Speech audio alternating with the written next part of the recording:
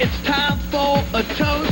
But first you gotta go and hug that host. So spread your arms out wide like you just don't care. And if you don't weigh much, throw him up in the air. You gotta grab him and squeeze him. There's no time to think.